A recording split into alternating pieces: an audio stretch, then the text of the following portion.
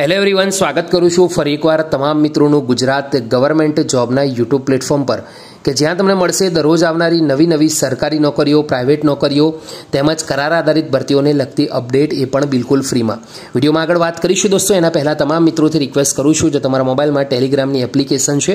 અને જો તમે રેગ્યુલર યુઝર છો તો જરૂરથી સર્ચવાળા વિભાગમાં ગુજરાત ગવર્મેન્ટ જોબ લખીને સર્ચ કરશો, તો તમને આપણી ટેલિગ્રામ ચેનલ સૌથી ઉપર ટોપમાં નજરે આવશે. જેની અંદર હાલમાં વીસ હજાર નવસો કરતાં પણ વધારે મેમ્બર્સ એક્ટિવ છે. એટલે કે અત્યાર સુધી જોડાયેલા છે. તમે પણ આજે જ જોઈન થઈને લાભ મેળવી શકો છો. લિંક તમને વિડીયોની નીચે મળી જશે. તો દોસ્તો, ખાસ ધ્યાન રાખો, આ ટેલિગ્રામ ચેનલ ફ્રી છે. એમાં કોઈ પણ જોઈન થઈ શકે છે ઓપન છે. તો તમે પણ આજે જોઈન થઈ શકો છો અથવા તો તમારા બીજા મિત્રો છે, એમના સુધી આ માહિતી પહોંચાડી શકો છો. આજની વિડીયોમાં સંકલિત બાળ સુરક્ષા યોજના અંતર્ગત જે ભરતી આવી છે તેના વિશે વાત કરીશું.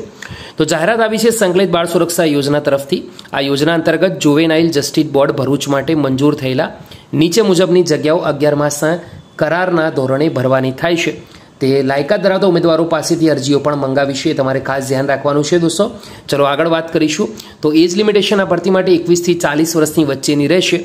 અધારે એજ અથવા તો ઓછી એજના જે ઉમેદવારો છે તે અરજી નહીં કરી શકે. એના પછી દોસ્તો આગળ વાત કરીશું સ્ક્રીન મોબાઈલ નીચે છે એના પર તમે જોઈ શકો છો.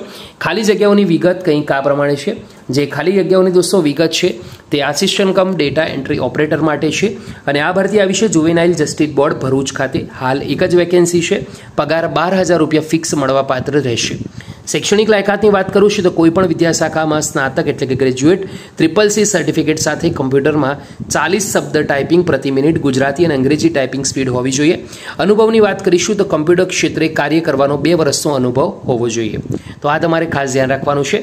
હવે આ ભરતી માટે જરૂરી શરતો શું છે એ સમજવું જરૂરી છે. તો ઉપરોક્ત જગ્યાઓ માટે જરૂરી લાયકાત ધરાવતા ઉમેદવારોએ જાહેરાત પ્રસિદ્ધ થયાના દિવસના દસ દિવસની અંદર જાહેર રજાની સાથે હસ્તલિખિત અરજી કરવી જરૂરી છે. તાજેતરના ફોટોગ્રાફ અને જરૂરી દસ્તાવેજોની પ્રમાણિત નકલ સાથે જિલ્લા સમાજ સુરક્ષા અધિકારીની કચેરી ગ્રાઉન્ડ ફ્લોર જિલ્લા સેવા સદન ભાગ બે.